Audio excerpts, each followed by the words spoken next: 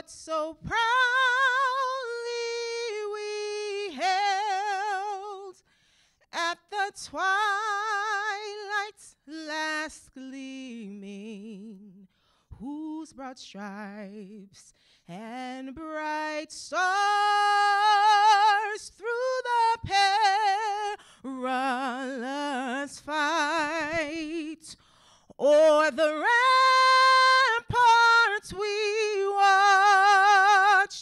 were so gallantly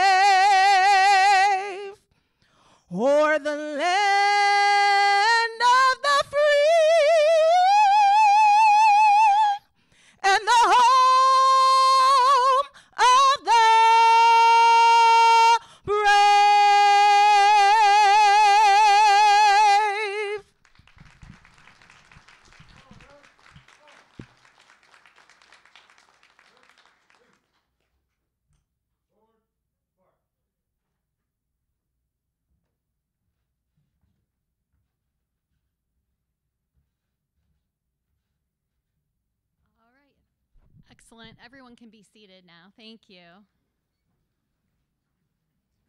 right. Welcome again to the investiture of the Honorable Tony Flores at the 54A District Court. This has been a time of great change in our community, and it really hasn't left the court unaffected. Over the course of the last uh, four plus years that I've been at the court, we've seen a complete changeover in the judiciary. Uh, I started just uh, over four years ago. Then there was the election of Judge Ward three plus years ago, and the appointment of uh, Judge Simmons, which I believe is coming up on three years, and now the appointment of Judge Flores. We've had a pandemic, we've had Zoom court, we've had a complete change in the way that we uh, conduct business because of some legislative changes. But one of the best changes for our court is the addition of Judge Tony Flores. Already, Judge Flores, in his short time with the court, has added new perspective and diversity to the decisions and leadership at our court. I've been working really hard to have a collaborative leadership in our court. Judge Flores stepped right into that role. I met Judge Flores a little over 18 years ago when I was a brand new attorney and he was a more seasoned prosecutor. I was representing an indigent defendant, and Judge Flores conducted himself without ego, without any taking advantage. He was completely fair, he provided information. It is the way that you treat someone who has no power that shows your character. And Judge Flores treated me and my indigent client with respect and dignity. And I expect that that is how Judge Flores will treat the members of our community. And so, it is with great pleasure that I welcome a judge like Judge Flores, a great human being, to our court. Thank you.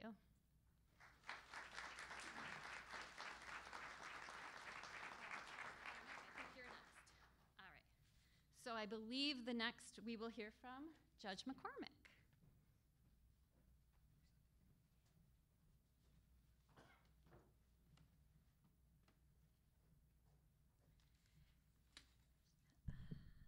Thank you, Judge Buchanan. Welcome and thank you for all, for you all being here today in support of Judge Flores and the investiture of his judicial appointment. My name is Lisa McCordic and I am a presiding judge for the 30th Circuit Court in the Family Division. First, I want to recognize all my colleagues that are here today to support um, Judge Flores in, in his investiture.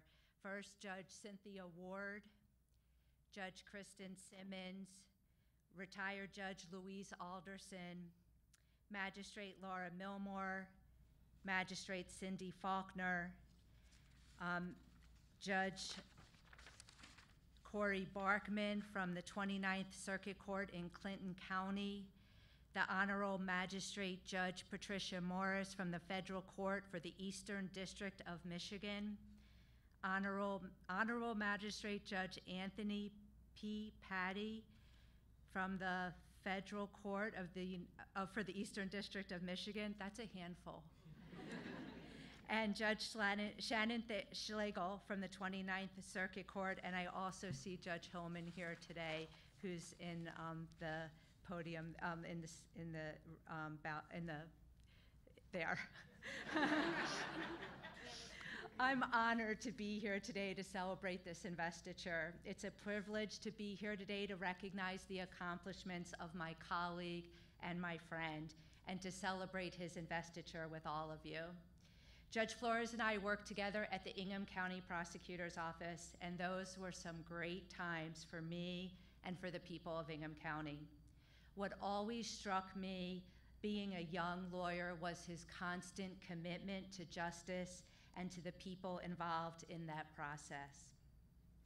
Then Tony, as we know him, now Judge Flores, always stood up for what was right, to be fair to every litigant, whether represented or not, and to always treat people with dignity and respect. Judge Flores was always sound in his decision making and in his ethics. I always appreciated knowing Judge Flores was many things to many people, most of all, a good man. It is these qualities and so many more that Governor Gretchen Whitmer recognized as paramount when she appointed Judge Flores to the 54A District Court. Judge Flores, it is my distinct honor once again to call you a colleague and a peer. And now it's my distinct pleasure to welcome Judge Cynthia Ward to the podium.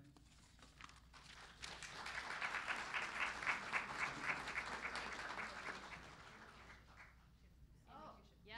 Oh, we're doing the invocation now. Okay. Yes, please. Did I miss that? Judges. Totally. I just follow the rules. Also, I just wanted to acknowledge that Judge Canady's here from 30th Circuit Court as well.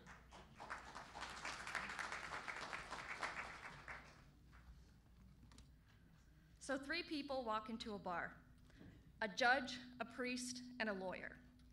And as a judge, Judge Flores makes one of his first decisions on who to elect to make the prayer, and he chooses the lawyer. now, it's just, he's new at this, so we're going to give him a little bit of time to get his training wheels off. Um, but all jokes aside, it's an absolute honor to be here today to give this invocation. First, let us be thankful to be able to meet here in person and in spirit for this special occasion. As much as he may deny it, Judge Flores is so happy to have so many people here to celebrate him. And as we look around, it is comforting to know that Judge Flores has been surrounded by such a diverse group of people who have perfectly prepared him for this position.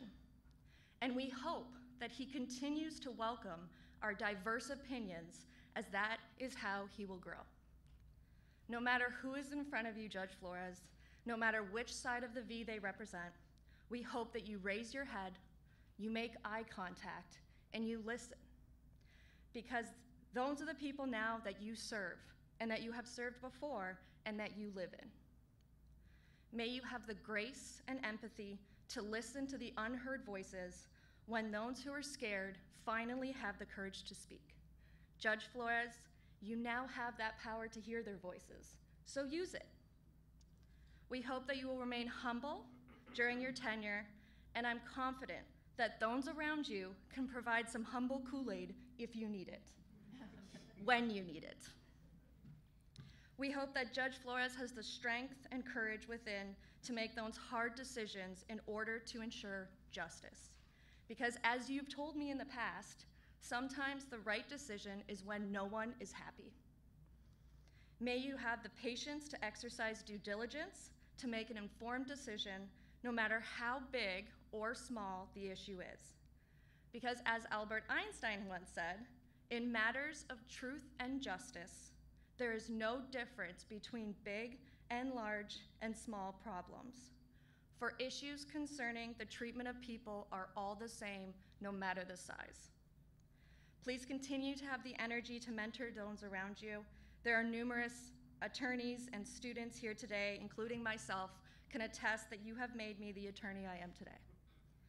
And may we all continue to be a constant and diverse inspiration to you. Finally, we hope that your spirit remains positive and that you embark on this new chapter and you continue to bring that positive energy with everything you do. And in true Judge Flores style, we will end with a quote from the great Jerry Garcia. if you're able to enjoy something, to devote your life to it, or a reasonable amount of time and energy, it will work out for you. Maybe. So next time, choose the priest. Thank you.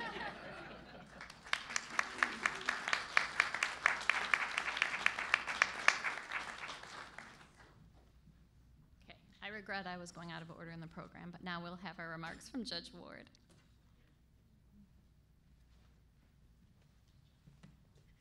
Greetings.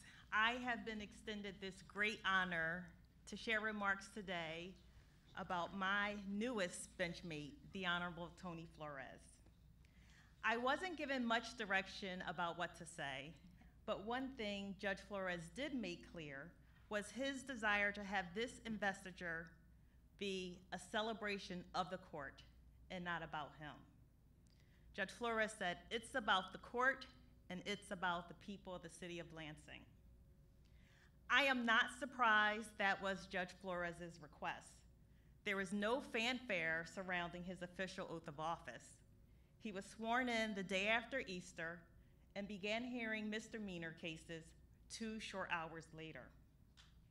He has already won the hearts of many court staff by his laid back presence and humble demeanor. My interactions with him as judge, in my interactions with him as judge, I have been impressed with his early demonstrations of thoughtfulness, not just his thoughtfulness in giving or showing consideration for others, but also his thoughtfulness as demonstrated by his attention to matters as required. When Judge Flores learned of the news of his appointment, his text to me was, quote, this is Tony Flores, and a decision has been posted that I get to be your colleague twice, unquote. For those who may not know, I am also a former Cooley Law professor whose time there overlapped with, Tony, with Judge Flores'. While I am sure Judge Flores was thrilled at the news of his appointment to the bench, I was admittedly less certain about how he felt about being my colleague twice.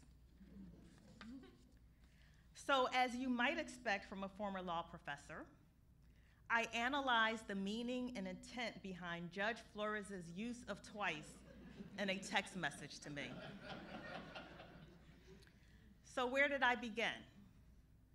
Given that Judge Flores is a former prosecuting attorney, I began with the most obvious of legal concepts double jeopardy.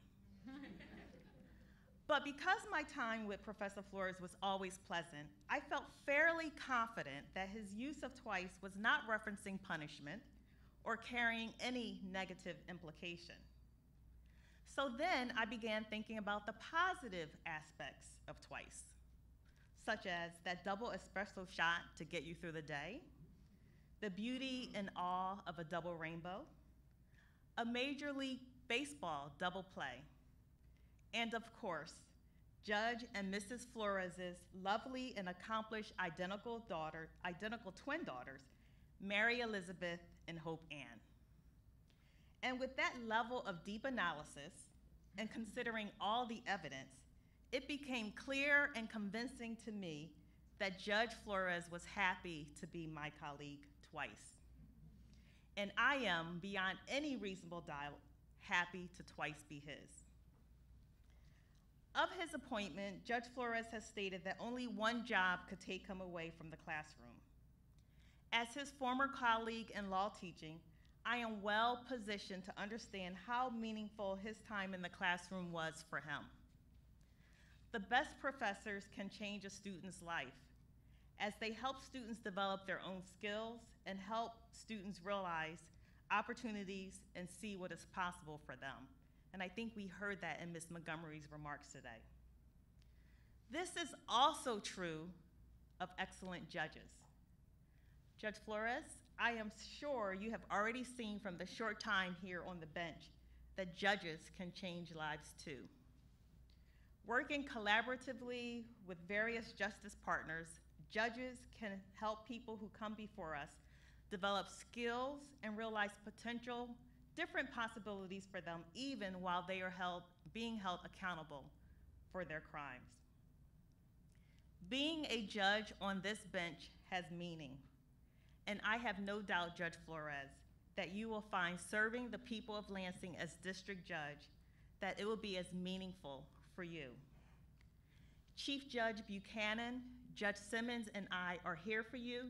We are united in our support for you, and we look forward to seeing your success. Thank you.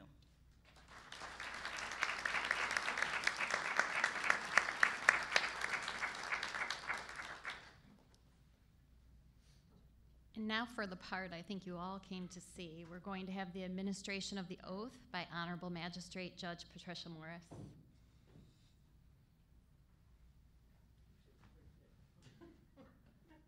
So I don't really need a mic, and I know I wasn't supposed to talk, but how can I not?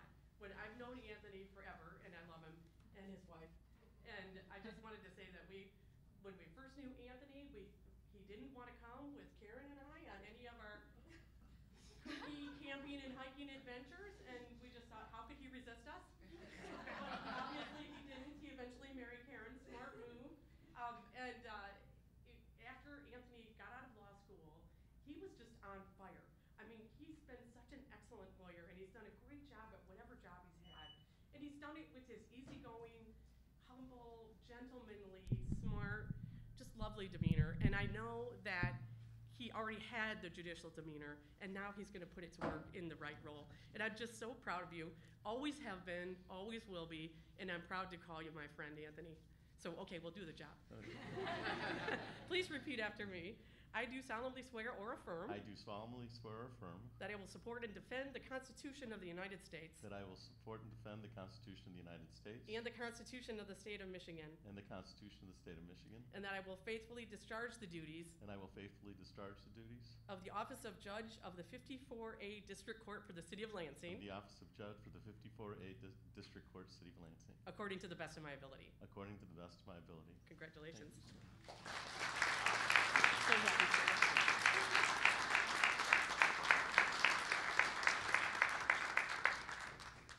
Well, and as all you can see, you can't be a judge without a robe, so Judge Simmons.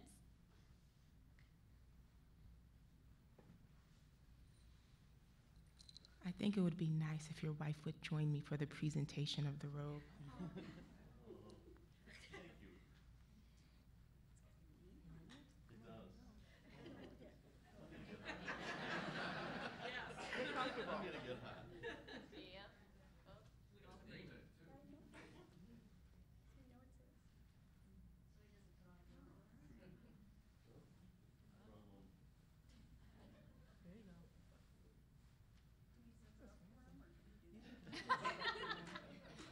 You're welcome.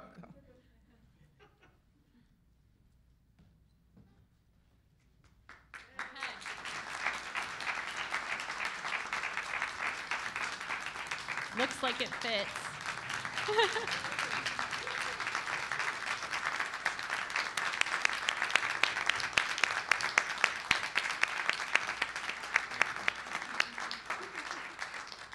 Really looks like you've always been wearing it. Okay. For the Honorable Judge Flores. Thank you.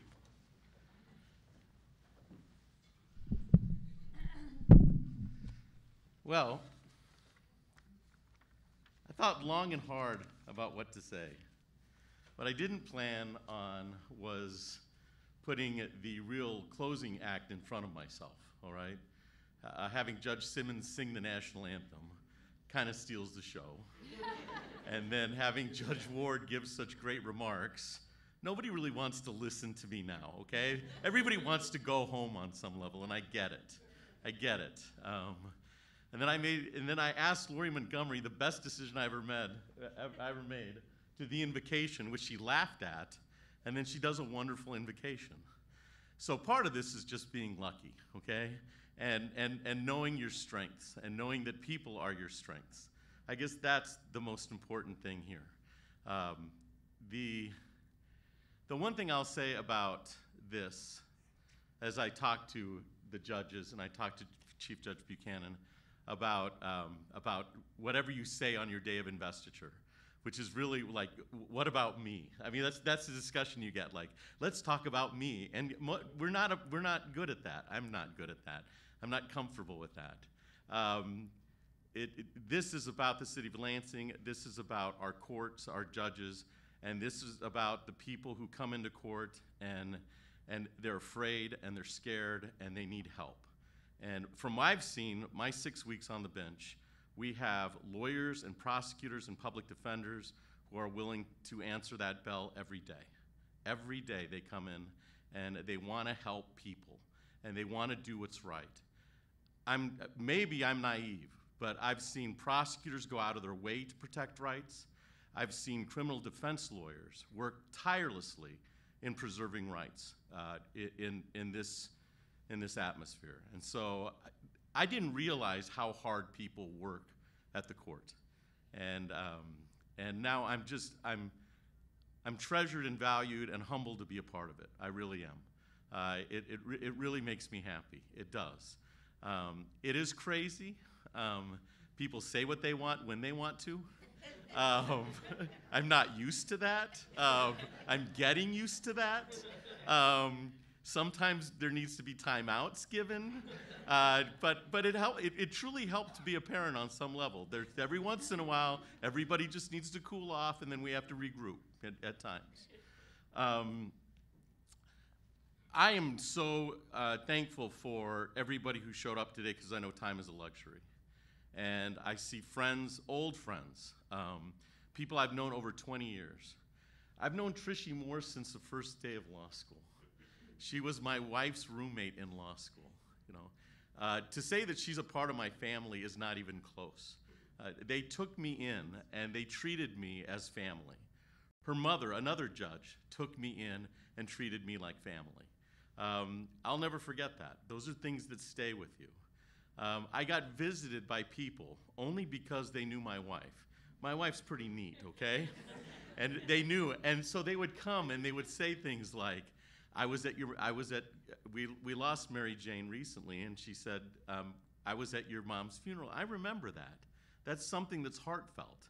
And the only reason they were coming to see me is because they knew my wife on some level, and that's heartfelt. I wanted to sit and talk a little bit about family because it is part of friends and family are why I'm here, all right? Um, if I didn't have friends and family to talk to, I, it'd be a problem. Um, I'm not an organized person, and uh, I think Wendy can, Wendy and Nathaniel can, uh, that I need all the help I can get. Okay, I need a tremendous amount of help. Um, but my my family, uh, who is not who is not able to be here, my parents simply can't travel. They're not in a, they're not in a place in life that they can travel. But I, I want you to know their humble beginnings. They, they, they, they're from West Texas. They're from a, a high school. Uh, there were six in my mom's graduating class. There were six people in my mom's graduating class. They, um, they, both my grandparents worked for a railroad. They, were- they were brakemen for the railroad. I mean, it- those are humble beginnings, and they embraced education, is what they did. They both have masters. They both have degrees. I watched my mom graduate from college. It was, it's one of the greatest things that I, that, I could, that I could achieve as a spectator to watch your parent graduate. And so I understand that, that they had different struggles than I would ever have. We weren't allowed to speak English in my household. See, speaking English with an accent is how you get in trouble in West Texas.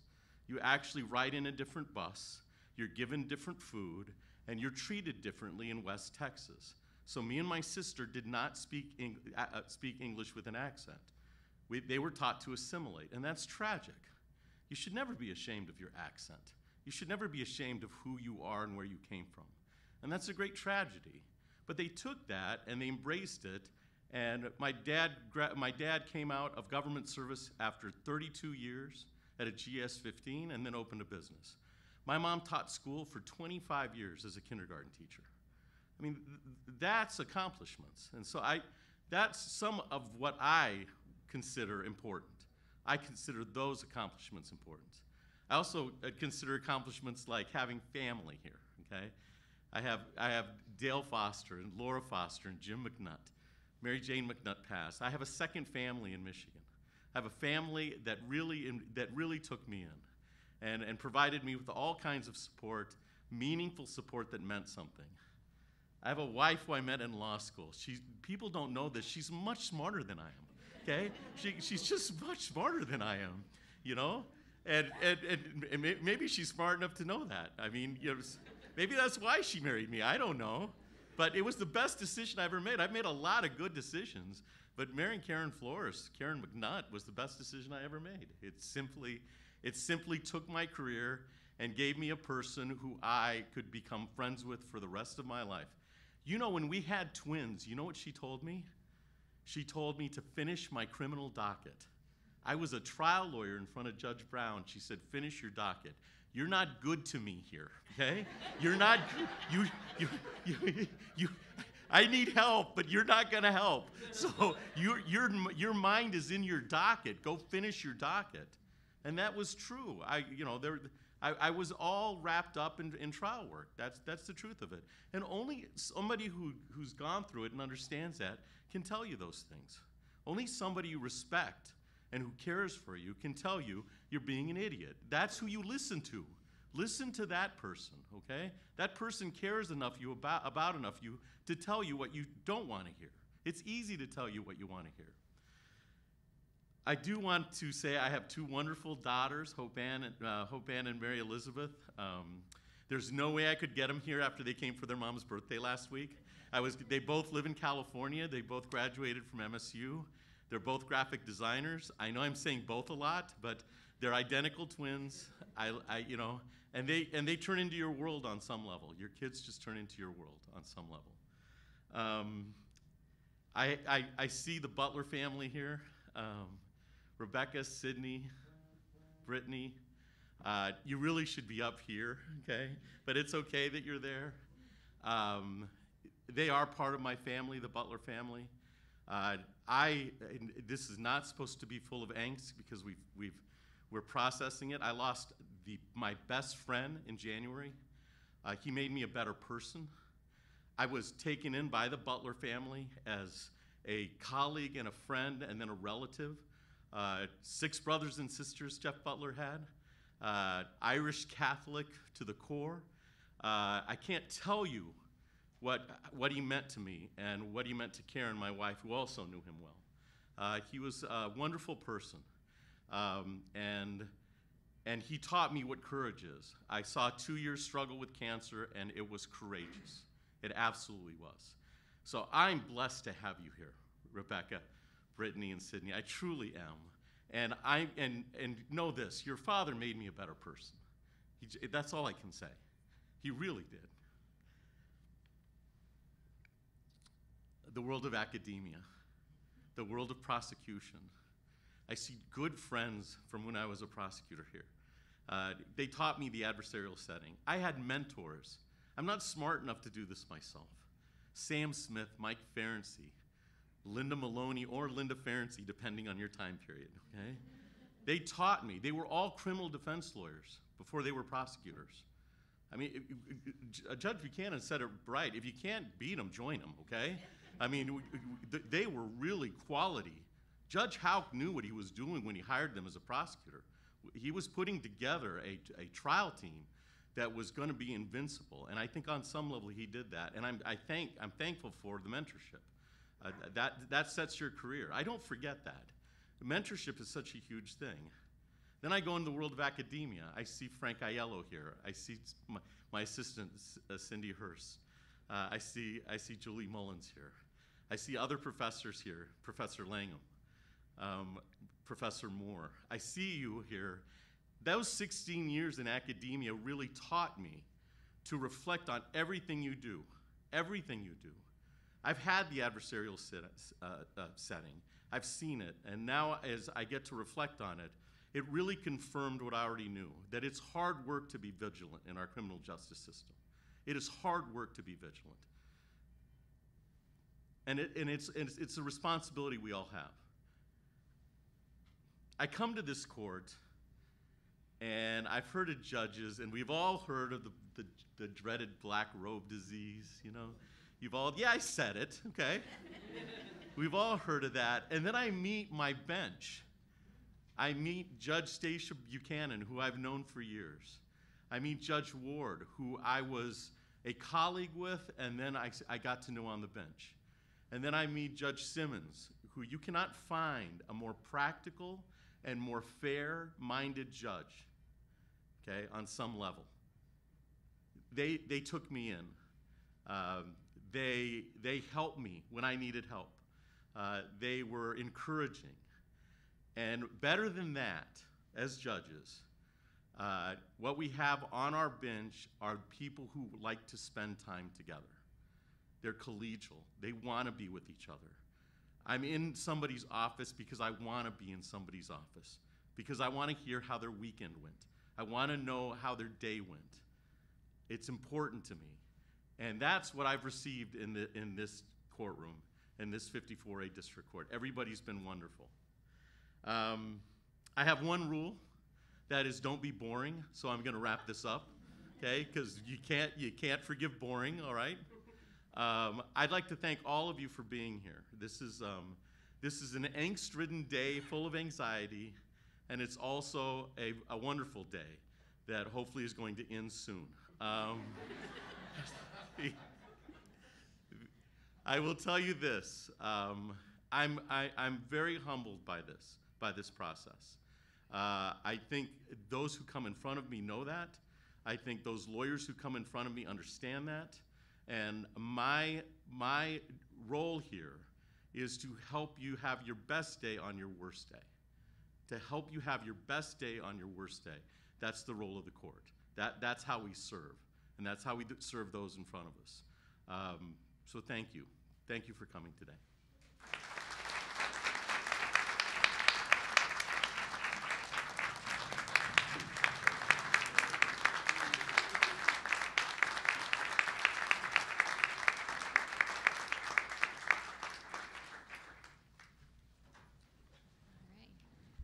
Well, you can see this is starting to wrap up. Just a couple last things in the program. We'll get some closing remarks from Magistrate Laura Milmore.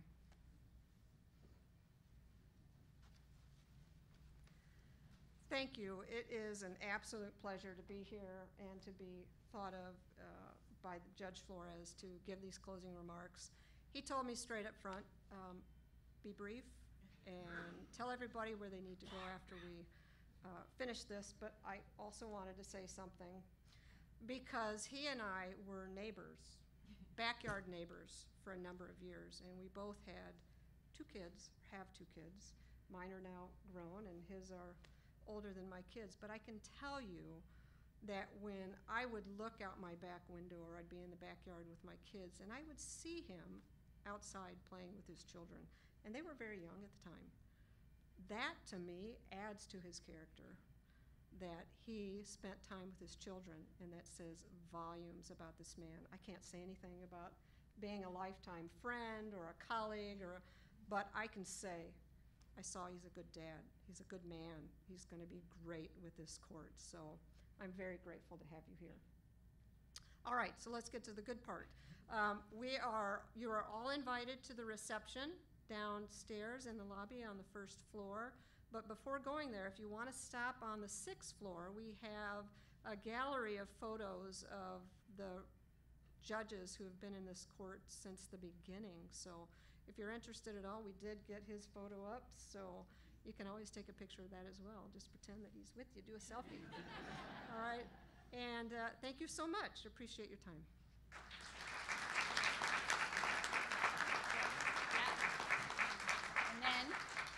All right, and now for the closing of the court.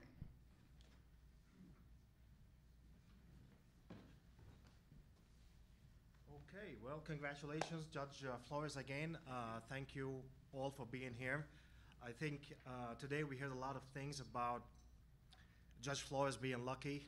Uh, I don't think he's lucky. He actually works very hard to get to where he got today. I've known Judge Flores now for 11 years. I was one of his uh, law school uh, students, and uh, he, I spent about 20, 25% of my time in law school taking classes with him on, on different on different levels, whether it's evidence or, or trial, mock trial, and some other trial skills classes. But one thing that he did, and he I think mentioned a lot today, embrace your accent. As you can see, I have an accent. I wasn't born here. Uh, but what I mean by embrace uh, your accent, he always had a very inclusive uh, environment. He always wanted everybody to not feel foreign, to feel that, you know what, this is part of the body. Whether it's a body, it's a student body, it's a, it's a law school body, whatever he did. And one of the things that he, uh, he also did, he actually believed in me enough to invite me to uh, go on the national trial team, and this was a challenge for him, and I am forever grateful for him. But that's the person who he is. He actually uh, tries his best to change the life of his students and the life of everybody that uh, gets around him, and those touches that he end up leaving, they have some life uh, effects, life effects that will never change. So thank you for being here. Congrat- congratulations again, Judge, and I obviously invite everybody to join us also at the uh, uh, reception downstairs. Thank you.